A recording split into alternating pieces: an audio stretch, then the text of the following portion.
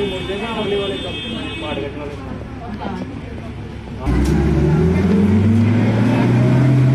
आराम से